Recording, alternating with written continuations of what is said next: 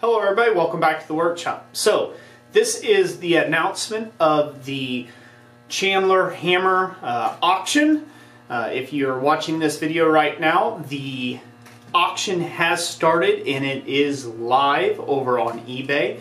Check the links in the description down below. That is the great, that there will be a link there to send you straight to the, uh, the actual listing there on eBay to where you can take and bid on this hammer in support of Chandler Dickinson.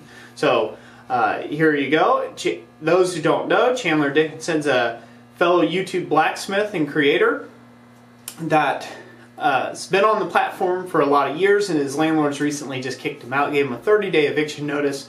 Um, and if you're watching this in the future, um, you know, there'll be a, a, the link will be removed on the video. That's how you'll know that this is now over and concluded. Uh, but the auction will be up for seven days. It'll be a seven-day auction, and uh, we're going to see how many people we can get uh, to do this and uh, be able to purchase this hammer. Um, also, real quick, there's some additional links in the description down below that will help you. Let's see here. Uh, that will are alternative ways, not help you, but alternative ways that you can take and support Chandler Dickinson. One, it should be his uh, PayPal donate. There'll be a link to his channel where you can do that.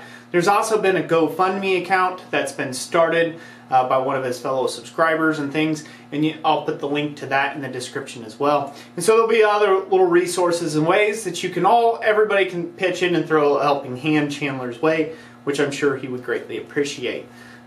Um, so, at the recording of this video, like I said, this hammer is live.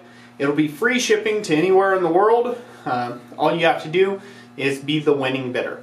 So bid high, help Chandler out with this, and uh, thank you all for everyone who is going to take and support this. And like I always say, God bless you, and we will catch you on the next one.